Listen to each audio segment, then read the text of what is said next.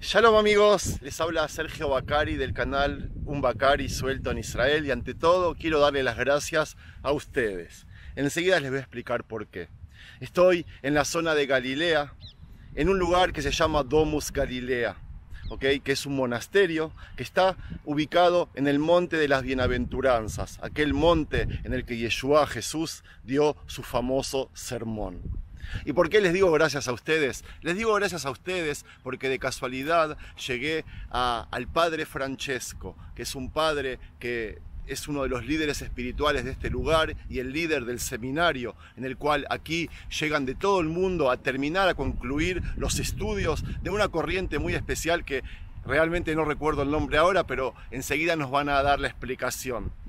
Y les estoy diciendo gracias a ustedes, porque gracias a ustedes por la, forma en la que ustedes dialogan, en la forma en la que ustedes comentan, en la forma en la que ustedes son tolerantes y reciben a las demás creencias, a las demás corrientes, a las demás religiones, a mí se me empezaron a abrir puertas de un montón de lugares en Israel. Suficiente con que diga un Bacari suelto en Israel, que saben cuál es el público que sigue a esta familia eh, a este canal y nos abren las puertas. Y por eso gracias. Enseguida voy a entrar. Eh, recibí una invitación hermosísima del padre Francesco que habla español y con él voy a hacer un recorrido por este hermoso, hermoso, hermoso lugar y él también nos va a explicar sobre los mejores eh, rincones, sobre este proyecto que intenta juntar religiones, especialmente a los católicos, los cristianos, los judíos y también los árabes, y tienen actividades durante muchos eh, días del año, especialmente el primer fin de semana, el primer Shabbat del año, del año gregoriano, eh, la primera semana de enero, que desde ya les digo de que cuando llegue ese día voy a ser el primero de la fila, me voy a sentar en la primera fila y voy eh, a mostrarles ese acontecimiento. Vamos a entrar, llegó la hora, son las 3 de la tarde, hoy es sábado, Shabbat, 29 de mayo creo que es hoy, y nos está esperando Francesco para darnos un video que yo mañana se los pienso subir a ustedes. Entonces aquí estamos en la Domus Galilee, en hebreo Beta Galil, que, se encuentra en el, en el monte de las bienaventuranzas, que según la tradición es el lugar donde Jesucristo ha proclamado un trozo muy importante del Evangelio, un discurso que se llama Sermón de la Montaña. Y esta casa está en una propiedad franciscana. Los franciscanos nos han concedido esta propiedad, este terreno, y nosotros con los voluntarios de todo el mundo hemos construido esta casa.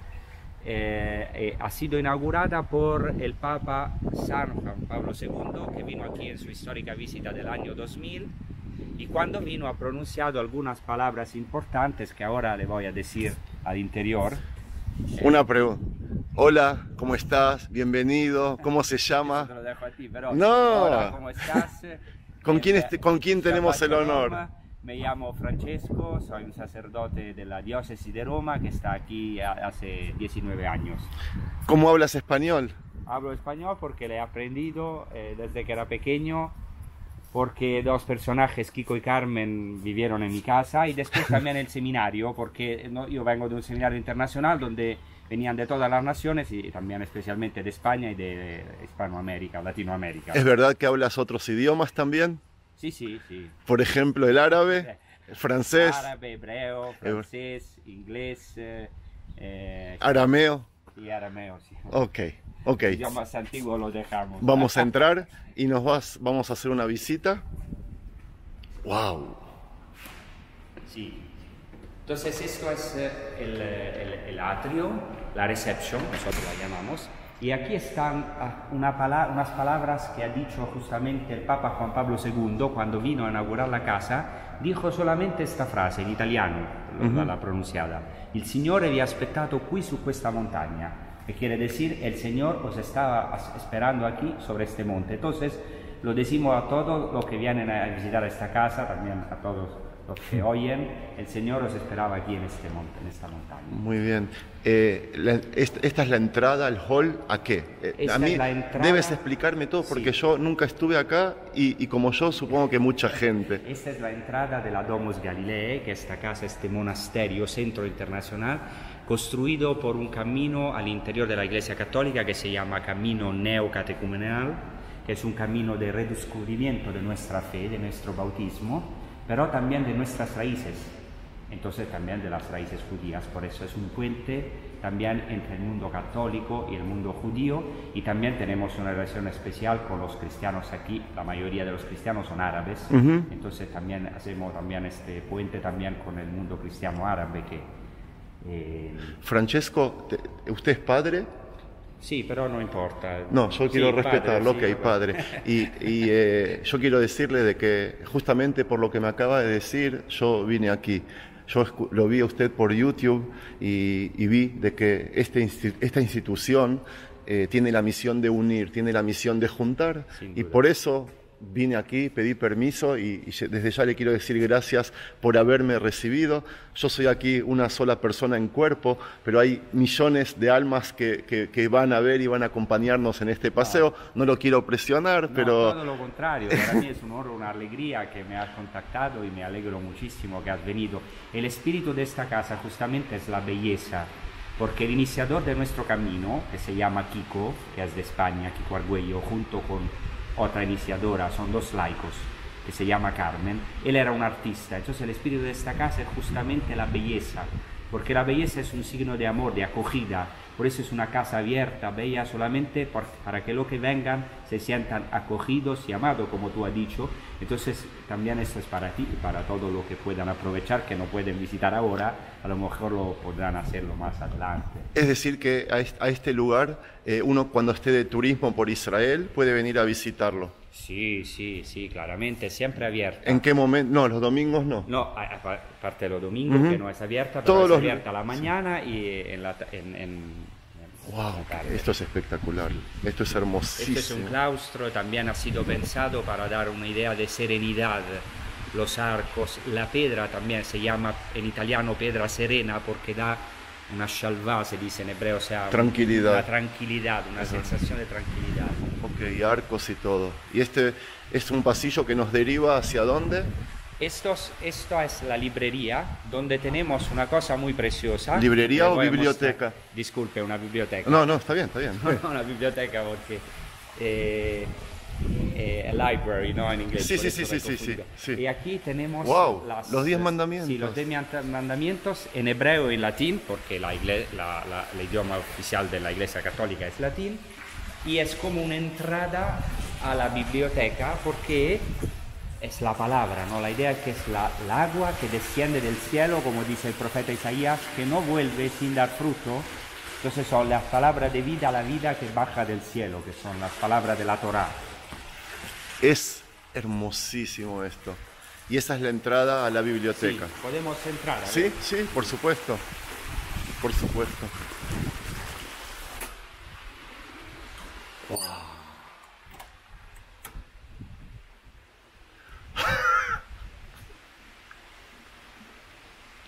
Entonces, esta es la biblioteca. La idea de la biblioteca es que es como el universo con todas las estrellas. Vamos a filmar de ahí que tengo el centro de todo el universo es la Torah. Por eso hemos puesto aquí los versículos del Midrash Bereshit Rabba, el gran Midrash al libro de la Génesis, el versículo 1.1 Aleph Aleph que dice Allá Kadosh Baruchu Mabit Torah Olam.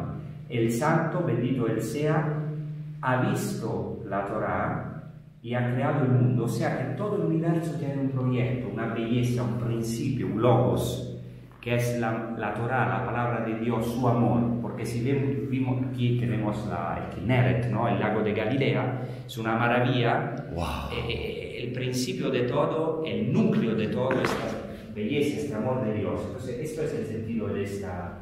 Y aquí tenemos un rollo de la Torah muy precioso, muy antiguo, del siglo XVI-XVII, que ha sido un regalo con un arzobispo. ¿En hebreo? Sí, sí. En ¿Escrito por un Sofer Stam? un Sefer, ah. Torah que viene del norte de África y entonces no, no, puede ser utilizado para el uso sinagogal, pero nosotros aquí no podemos guardarlo. Hemos pedido un permiso especial al gran rabinato de Israel, porque saben que cuando la Torah es la reina de Israel, es la esposa, entonces hay que hacer un funeral y ponerlo en la guinizá. Sí pero hemos pedido un permiso especial porque el deseo de este obispo es que este Sefer Torah volviese a la tierra de Israel. No solamente nos han dado el permiso de ver rabinato de Israel, sino que han sido tan buenos de venir aquí y hemos hecho una inauguración maravillosa con los rabinos, también con cristianos, algunos obispos, y fue maravilloso. Han- ellos han proclamado, han cantado del Sefer Torah, y entonces es un- una gracia, un regalo enorme para nosotros guardar esto y también que vienen, vienen aquí judíos, israelíes, también esto nos une, porque también para nosotros la Torah es palabra de Dios, para nosotros. Por supuesto, por supuesto. Y, y aquí tenemos eh, las palabras de Jesús porque el sermón de la montaña, porque aquí en este monte el sermón de la montaña es una adrashá de la Torah. Prácticamente Jesucristo da su interpretación de la Torah, ¿no? Entonces, O sea que estamos, porque antes no nos ubicamos geográficamente, estamos en el monte de las bienaventuranzas, que según la tradición cristiana y la fe cristiana, acá dio Jesús, Yeshua, dio el sermón de las bienaventuranzas, bajando hacia el- a- por este mismo monte, hacia ahí abajo. Está preparadísimo, estás preparadísimo.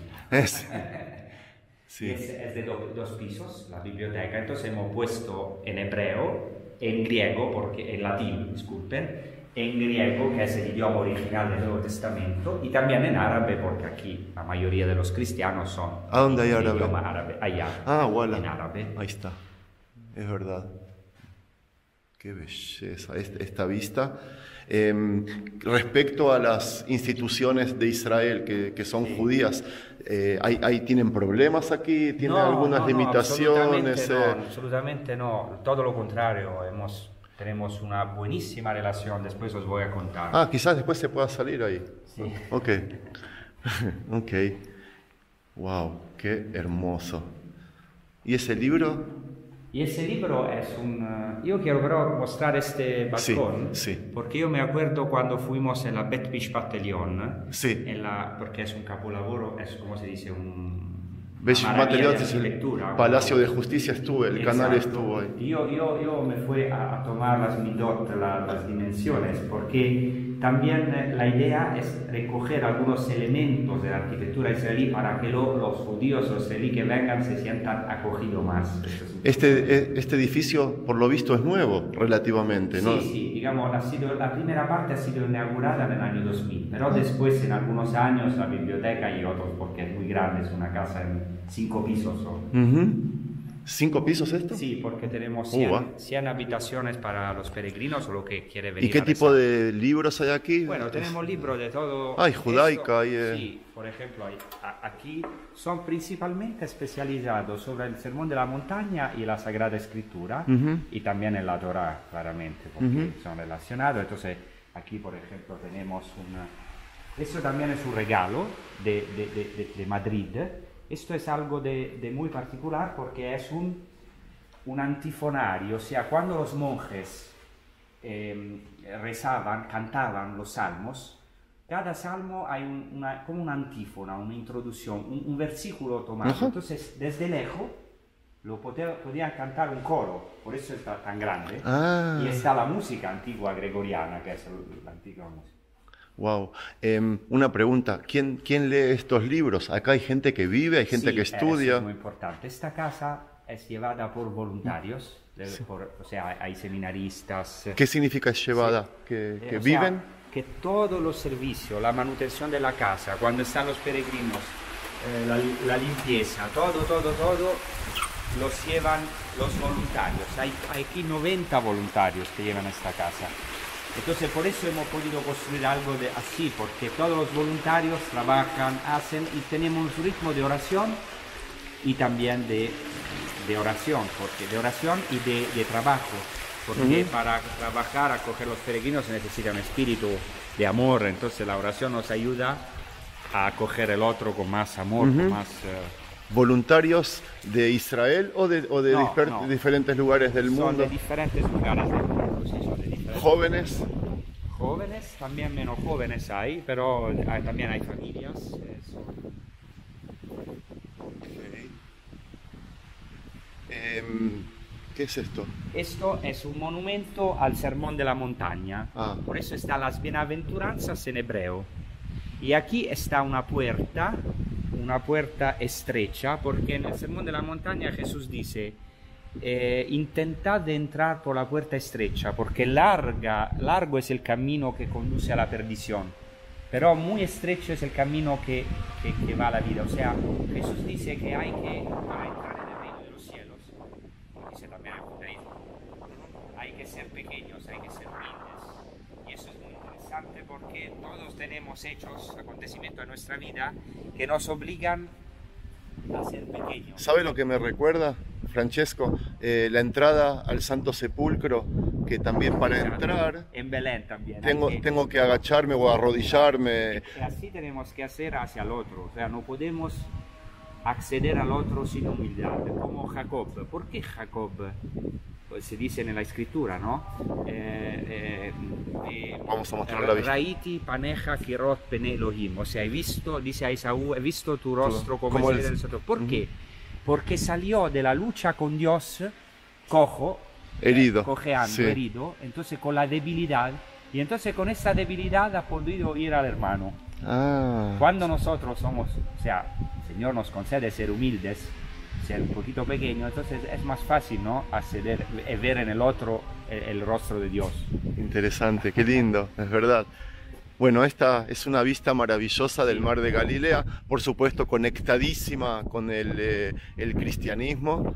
eh, Digamos, uno de los deseos más, eh, el deseo más grande de nuestra vida es venir aquí, en Israel, en Tierra Santa. ah, O sea, todos, todos los que terminan el nuestro camino vienen aquí a terminar su camino de fe y entonces son, hablamos de más o menos alrededor un millón y medio de personas. ¿a qué te refieres camino? ¿A es estudios? un camino de fe, un camino de fe que es, es una formación, eh, más Ah, que un estudio. claro, pues no se es termina. intelectual, bueno, podemos decir estudio, pero es algo que toca muy profundamente nuestra existencia. Ajá. Entonces todos del todo el mundo vienen aquí.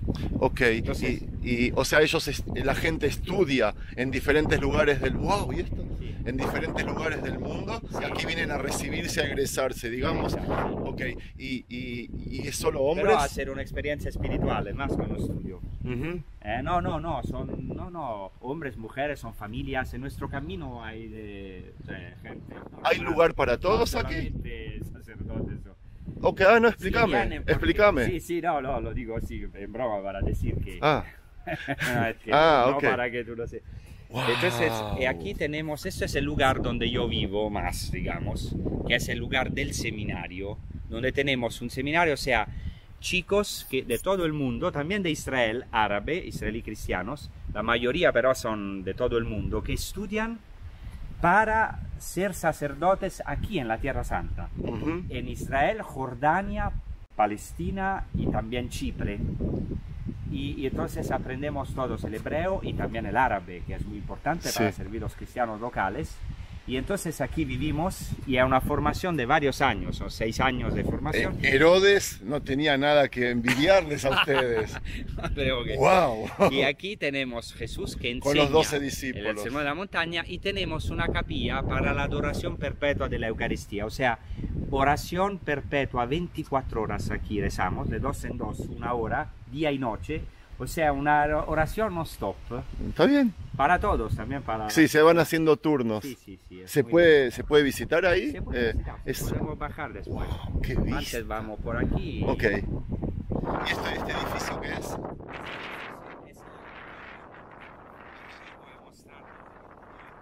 O sea, es una sala muy grande de reunión. Porque cuando vino Papa Pablo VI en el 64, lamentaba que no, no había un lugar muy largo para hacer, o, o- o amplio, para hacer reuniones, para hacer...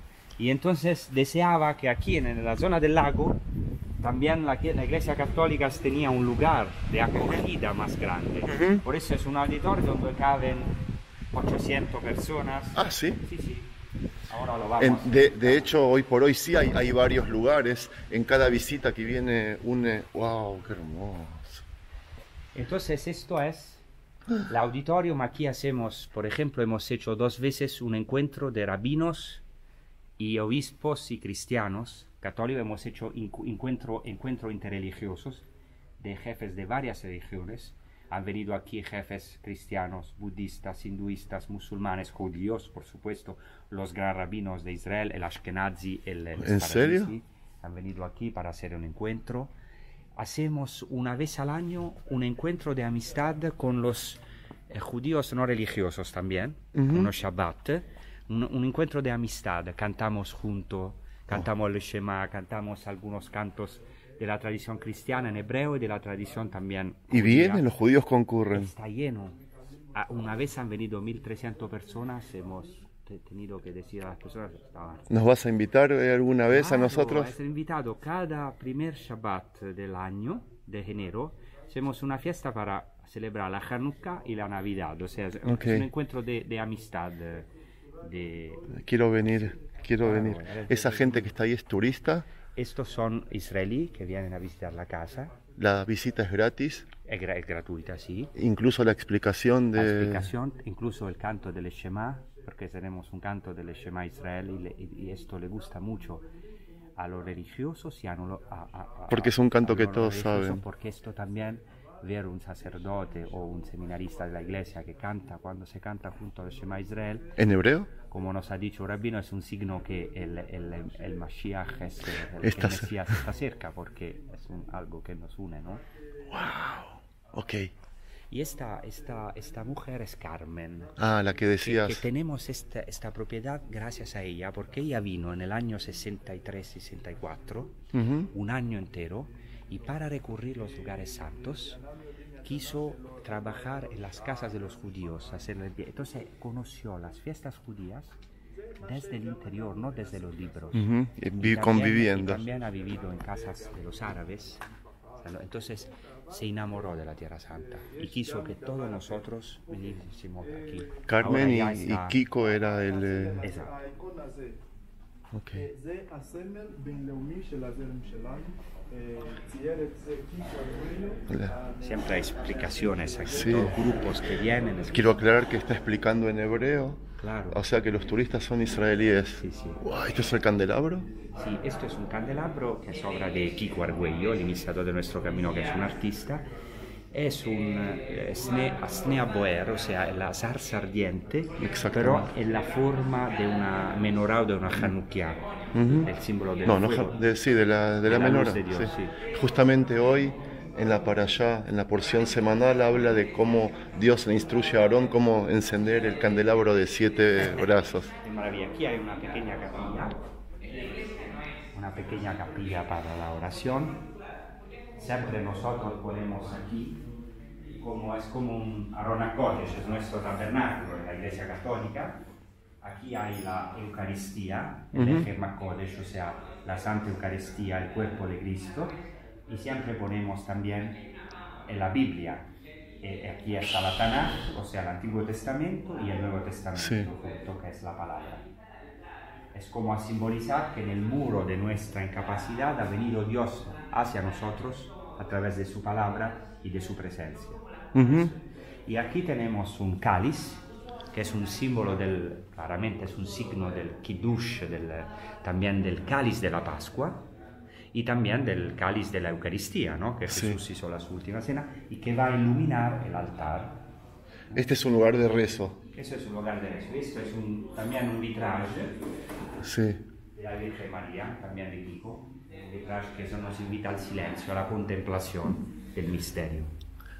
La, belleza, ese, ese... Hablan en español ahí. Sí. Vamos a escucharlo. En esta esquina vemos un joven con un sombrero rojo. No, también está explicando. Es. Vemos a un joven con un sombrero rojo. Este joven es el profeta Daniel. ¿Por qué? El profeta Daniel tuvo una visión y en la visión vio a un hombre anciano con una barba blanca y vestido blanco. Es este anciano que vemos allá arriba. Y en el Padre, en los Y debajo vio al Hijo del Hombre. Es la razón por la que vemos que está Jesús. Eh, Nosotros somos cristianos. Jesucristo no es solamente sacerdote, profeta.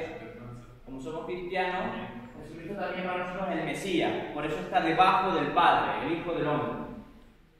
El icono, todo el icono es como el cielo. Sin embargo, yo voy a explicar solamente esta parte.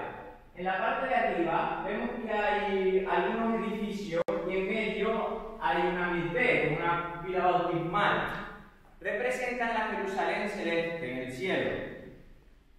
Debajo hay cuatro comunidades de, gente con de personas con vestidos blancos. Estos son los santos, los justos en el cielo.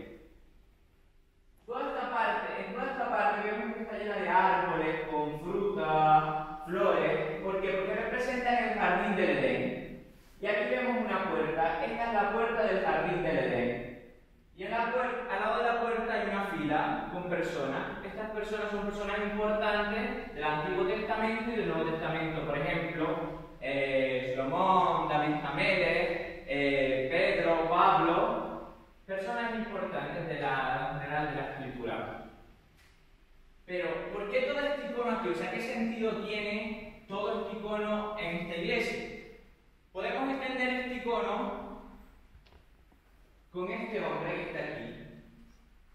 Este hombre en realidad yo no sé quién es, no sé cómo se llama, pero no es importante.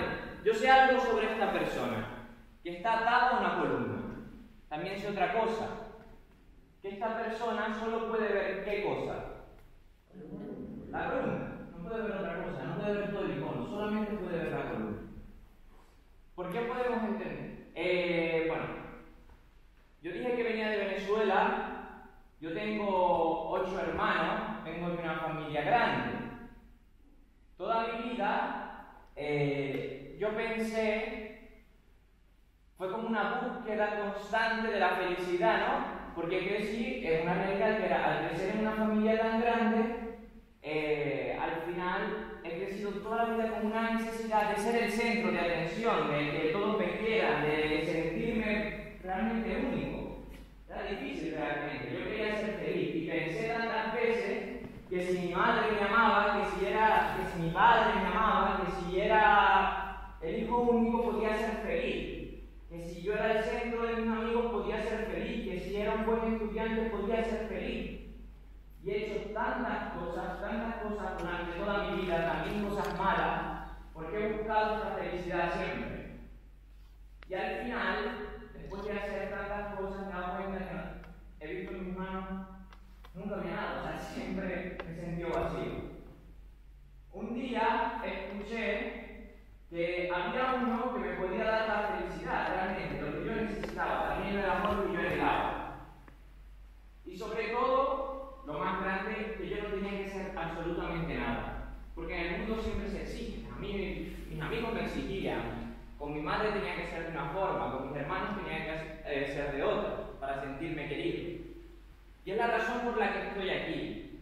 Estoy aquí, eh, estoy en Israel, es verdad, es país precioso, pero no es el mío, lo siento. Yo es Venezuela.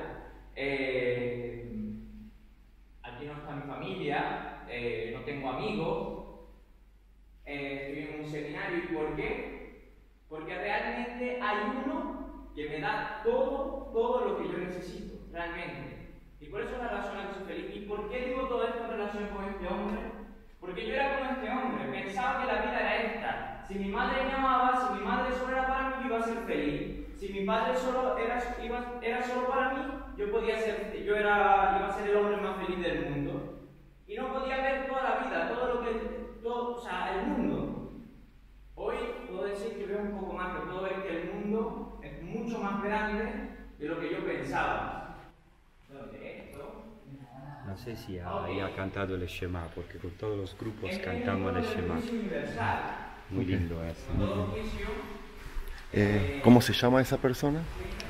Eh, la verdad que yo no conozco todos los Ok, nombres, pero él es un, él no- es no una- vivo, sí. es un alumno que Sí, vino de que pero Venezuela. no, no- es de nuestro seminario, sino que es aquí de la Domus. Sí, vino por, una, por dos años Ah, ok. aquí en la Domus para es un año estudió, por eso no lo conozco bien porque ha venido hace poco y, eh, y ahora una, otro, algunos meses después de un año de estudio va haciendo este servicio de, Muy de- de. Aquí no se puede entrar desgraciadamente porque Pero la vamos a ver desde aquí porque merece la pena. Yo puedo entrar, ¿eh? No, porque, porque no, ¿sabe por qué? Porque han puesto la moqueta nueva, porque están aprovechando que ahora no viene mucho todavía. Ok. Pero te lo muestro desde aquí. Ok. ¿Qué es moqueta? No, la moqueta es, ¿cómo se llama? Ah, alfombra. Sí, el- alfombra. Alfombra, ok. Esto es un lugar que nosotros llamamos Yeshiva o Santuario de la Palabra, ¿no? donde escrutamos la palabra de Dios. Entonces es... eh, ¿Escrutamos en el la palabra de Dios? Sí, es como l'hidrosh. Ah, ok. Pedimos. eh, Así nosotros la llamamos escrutacio de la palabra de Dios. O sea, es- quiere, es- es- quiere decir que eh, leemos pero en profundidad. O sea, comparándola con nuestra existencia concreta, con Ujú. nuestra vida concreta. O sea, es algo de muy profundo. ¿Y lo hacen en este lugar? Una meditación. ¿eh? Ah, muy bien. Una meditación de la, de la escritura, de la palabra de Dios. Ok. Volvimos a la recepción. Sí, si quiere podemos bajar. Sí quiero.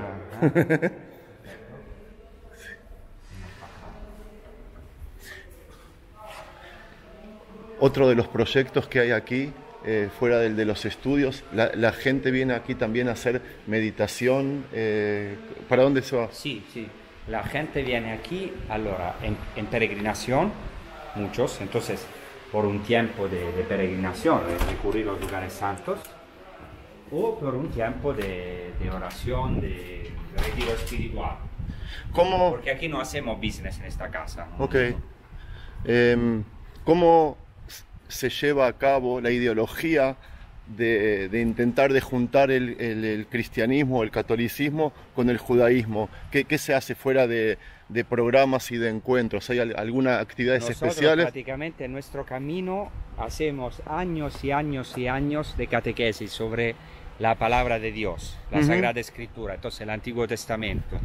Entonces conocemos muy bien el Antiguo Testamento to- y también de la tradición judía. Por ejemplo, la relación que hay entre la liturgia cristiana y la liturgia judía. Por ejemplo, el Pesaj y la. Eucaristía. Entonces son años y años y años de formación hacia el amor a las fuentes judías, a las Mekorot. O sea, ese no es algo de, de un año o de un estudio sobre un libro. Nuestro camino dura 15 años, 20 años, algunas veces 25 años Wow. en una comunidad, en las parroquias. Entonces eh, es algo de muy profundo. El camino me dijiste que se llama eh, camino neocatecumenal. neocatecumenal. Sí, porque el catecumenado en la iglesia antigua era un camino hacia el bautismo. Entonces no- se llama neocatecumenal porque nosotros descubrimos lo que ya hemos recibido en el bautismo y entonces toda la riqueza que hemos recibido. Em, ¿Viene aquí gente cristiana? Sí, sí, la mayoría de los... o sea, lo- los que están aquí... Disculpa, yo no, no, No, no no. conozco mucho las, la, las la- diferencias. la mayoría que vienen aquí a dormir ¿eh? en estas habitaciones, porque tenemos 100 habitaciones como esta. Ciento de Sí, habitaciones. cada, cada Me- meot. Sí, meot. Cada habitación tiene una vista sobre el lago de Galilea. ¿eh? Ok, estas son las habitaciones. Entonces, los que vienen aquí son peregrinos. Después a visitar vienen muchísimos israelíes y también árabes de varias religiones, pero especialmente israelíes. O sea, yo puedo venir como un hotel. No, porque Ah. no Ah, no es business. Ah. entonces no- no- si uno quiere venir a rezar se puede, pero no. Sí, sí. Porque no podemos también, Pero- porque la casa llevada por los voluntarios no Sí, podemos. sí, sí, eh, Muy bien. eh, es un monasterio. No son judíos tampoco. Los judíos hacen business. No, no, Sí, no, ya sé. También los cristianos. hacen. Qué belleza esto, qué belleza esto. Pero, hay- ¿dó- ¿dónde están las cientos de habitaciones? ¿Abajo? Eh, podemos después ver. No, no, pregunto, pregunto. ¿Hay, hay en Sí, sí, serio? hay, hay prácticamente es una casa que es como escalones. Sí. para integrarse con la maravilla del- de la naturaleza de Galilea. Entonces no es un bloque completo, sino hay cinco pisos hacia abajo. Ah, Esto es. Y esto es el lugar del seminario, o sea, es un monasterio al más pequeño al interior del monasterio. ok. Entonces, donde vivo yo, donde vivimos nosotros, hay chicos, por ejemplo, ahí hay un chico de, que es de Jaffa, de Tel Aviv, de Ajá. Jaffa de Tel Aviv, que habla muy bien el árabe, el hebreo. Hello. y, y- y- y así es. eh, aquí están nuestras habitaciones, nuestras celdas. donde, donde vivimos nosotros, donde es estudiamos, donde rezamos. Y esto es, Y esta es una capilla para la oración perpetua. La, nosotros la llamamos adoración de la Ujú. Eucaristía. Y aquí se reza día y noche todo el tiempo.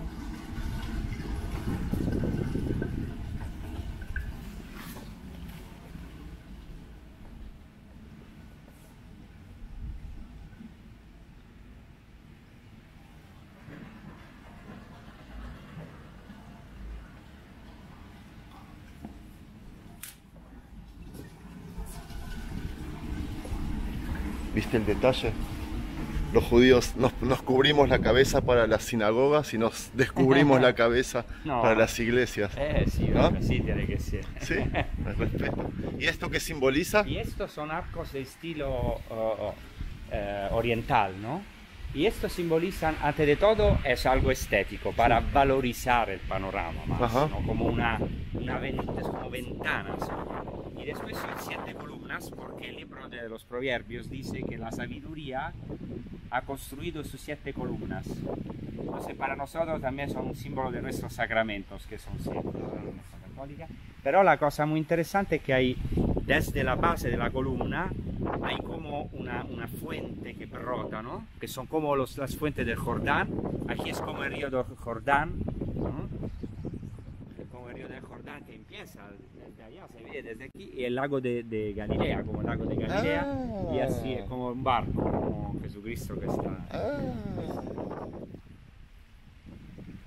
Ah, eso no lo sabía, ese detalle. Muy lindo, muy Aquí es lindo. muy lindo porque es el lugar Pero no te alejes, acá hay viento. Sí, aquí es el lugar donde, de donde se ve mejor el panorama, porque ahí no, no hay la casa aquí.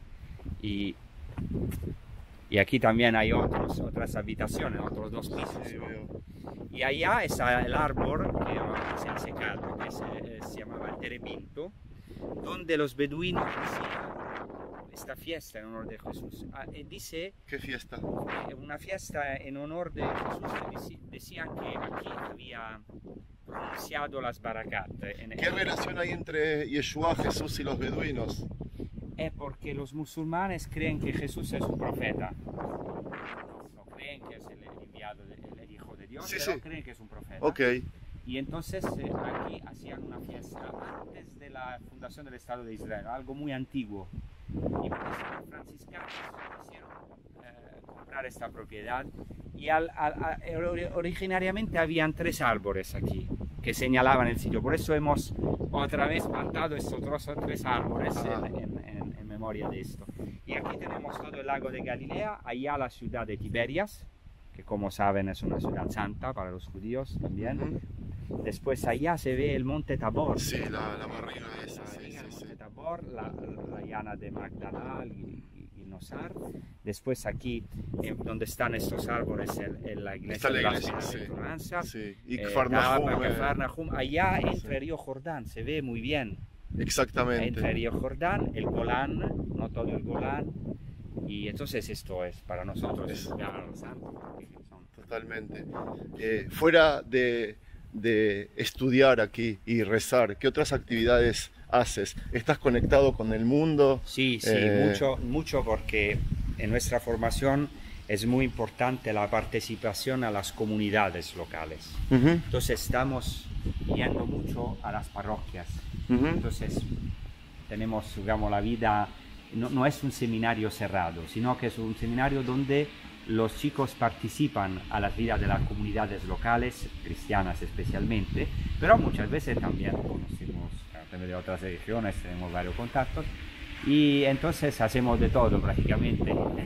Eh, Pero, o sea, son más actividades de, de, de- de- de cri- cristianas, o sea, de, de ayudar a la gente en la fe, Ujú. pero con un conocimiento profundo también de los problemas de la gente, de las familias, porque esta, este camino lo hacemos en comunidades donde hay también familias, chicos, chicas, donde hay gente mayor, o sea, gente de, todo, de toda extracción social, eh, cultural y con todos Ujú. problemas o no problemas. o La... sea, Sí, la, Entonces es un contacto sí, muy vivo con la gente, esto quiero decir. increíble, sí, todo el Que tiempo. no, no siempre en los seminarios hay, porque no tienen este contacto algunas veces tan vivo con las comunidades. Ujú. Aquí es en nuestro comedor.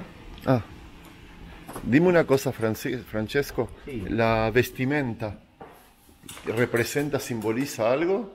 Él es argentino, ¿no? Sí, tenemos un argentino, los obispos de Tierra Santa.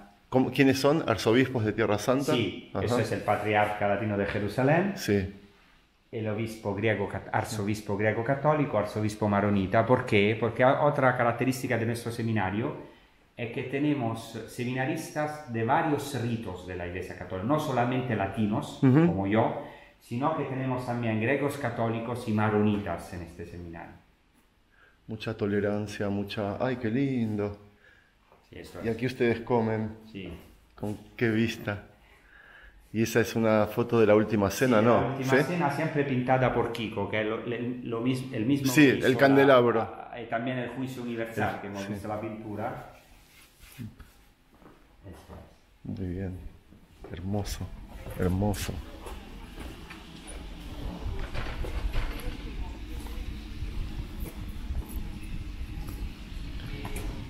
Francesco, padre Francesco, le quiero dar las gracias por la visita. Ha sido un honor, una bendición. Miles de gracias por su tiempo. En nombre mío y en nombre de las miles de personas que van a ver eh, este lugar, eh, quiero decirles que voy a, quiero poner algún eh, contacto, alguna, la gente que se quiera contactar con el lugar, con usted o con, o con esta institución, vamos a, a brindarles la posibilidad. Y si usted quiere decir algo así para redondear y terminar la visita, Gracias para mí, ha sido una verajá. Muchas gracias, Sergio. Te sigo en YouTube. Un abrazo a todos y que es tan importante que personas como Sergio y como intentamos hacer nosotros, obviamente, que somos de verdad puente de reconciliación y de paz, porque se necesita no solamente en esta tierra, sino en todo el mundo. es verdad, que Dios los bendiga. Igualmente, Muchísimas gracias, igualmente. muchísimas gracias.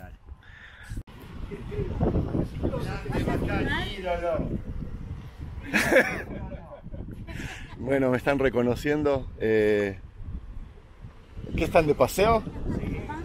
Sí, estoy filmando. Estamos, eh, No nosotros pongas somos esa de cara la- porque yo sí lo digo. Somos de ah, sí. ¿Y conocen el canal? Sí. ¿Les gustan las cosas que se publican? Bueno, Sí. nosotros ya tenemos ¿De dónde son? 30, 35 años. acá.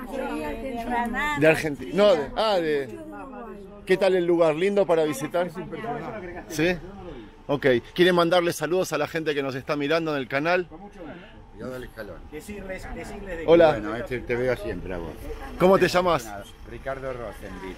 ¿Y qué te gusta? Me gusta porque estás en muchas cosas, porque abarcas muchos temas, porque tenés una mente abierta y puedes estar con vos tanto un religioso como un laico como yo. Ya fe. Por todas esas cosas hace tu- que tu, tu trabajo sea más valioso. Muchas gracias. Felicito. ¿eh? ¿De quién? Ah, mi suegra. Ah, ok. Bueno, muchas gracias, muchísimo gusto. No coincidimos políticamente, de todas formas te respeto. Yo no. Tenía, tenía. Ni a- ni a Javets. Increíble que la gente conozca a- al canal este. Y bueno, ahora ahí está por venir el padre Francesco. Hola, sí. Hoy, mucho gusto. ¿Qué me están cargando? De verdad. ¿Quiénes son ustedes? Yo soy Eider y ya somos fotógrafos y pasadores. ¿Cómo me reconocieron? De YouTube. ¿En serio? ¿Conocen el canal? Los canales, los. O sea, wow. ¿De dónde vienen? Nosotros somos de Askeron. ¿Viven en Israel? Vivimos en Israel. ¿Y de qué origen? Peruano. ¿En serio? ¿Y les gusta el canal? ¿Les gusta el material? están Lindos lugares, lo que tú, cómo presenta, los, cómo lo explica, de verdad, muy, muy, muy calidad. Nos, nos encantan. ¿Qué están haciendo aquí ustedes? Yo acá somos fotógrafos. somos, Ah, ¿sí? eh, Sí, somos bloggers. tenemos- ¿Bloggers? ¿Qué página? Edermar 20. y- Edermar 20. sí. ¿Qué Y hacen? Hacemos eh, eh, los lugares, los mejores lugares para tomarse fotos, para el paseo. ¿En picnic, español? Picnic en hebreo y también en español.